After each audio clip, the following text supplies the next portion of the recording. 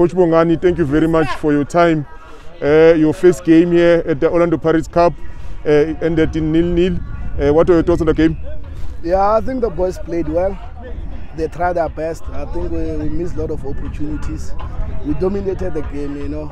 Uh, if you are using young boys that are 16, 17 into a tournament of under 21, this is what you expect, you understand, for them to, to miss those chances. But I still believe we still have a good uh, chance of qualifying. We still have two more games to play.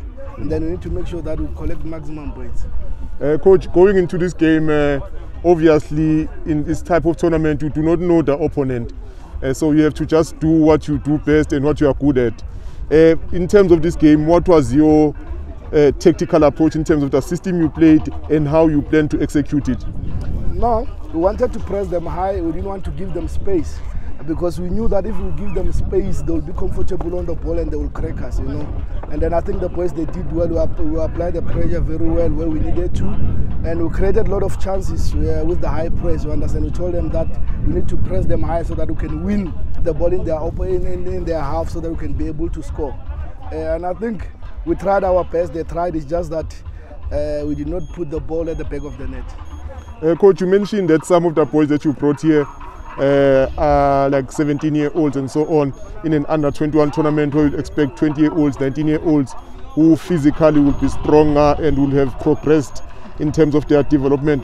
What was the reason behind be bringing in younger boys? I, believe this is an opportunity. Uh, parents have given uh, us an opportunity to, to, to bring these boys here, you understand. So if you are coming to your Pirates Cup, you must have a vision. Uh, I believe that the boy who's 17 if he have an opportunity to play, you understand. So I think that was the purpose to come and bring the young players, get the experience and get the exposure. You understand? Because uh, that's where the future is. You understand? If you're playing someone who's 17, we believe that boy will still have four years in the tournament. You understand? So what we are doing, that we are building from now. Uh, you, you, you, you've drawn your first game, which means your two remaining games definitely must win to stand a chance Eh, of progressing to the next round. How is the approach now to ensure that you get maximum points in the next two games? Yeah, you see, the most important thing, we don't want to put pressure on these boys. You understand? We know to them to play for, eh, any, to, to come and compete in Pirates Cup, it's a pressure by its own. But our job now as coaches, these boys, you know, they're 16, 17, we need to motivate them and tell them the most important thing that we're here for is to play. And then the result will come after because we don't want to overload them with pressure because you put pressure on them, they won't be able to deliver. Uh, Coach, in your preparations for this tournament, uh, in one day, you'll have to play three games. Uh, do you have a big enough squad to do that? And how do you plan to ensure that in between these breaks, you are able to refresh these players so that they come back for the next game fresh, fit, and ready to go? Yeah, I think uh, we had the program of the tournament. I think it was two months back. We knew that a day we were going to play three games. So we had a nice preparation. I think at home back in Polokwane, uh, we were playing three games a day trying trying so that when we get here, the players, the condition must be up to standard, you understand. So we're playing three three games a day, trying to get the. We had visitors from Malamulele, Giyani, the way in Polokwane. So we needed those friendly games from Giyani and Malamulele for physicality, because so that our boys when they come here they are ready. Uh, coach, uh, as the coach of the School of uh, Limpopo School of Excellence, can you give us maybe briefly summarize how is the state of football development in Limpopo? Yeah, I think, for an example, I think there's too much gap. If you compare Limpopo and Joburg, Joburg, these people, they love football. Like, for an example, Orlando Pirates, they're having their own tournament. They're inviting all teams from all South Africa, understand?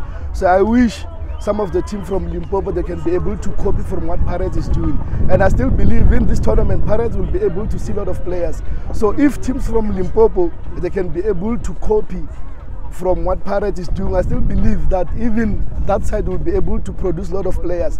If you can check for now, for us to produce players, you need to come to Joburg because they need to come and play with the best so that we can be able to see if they are ready for the future. You understand? Then even if uh, in Limpopo, if those teams that are in PSL, they can be able to do the same, I think it will be better for us.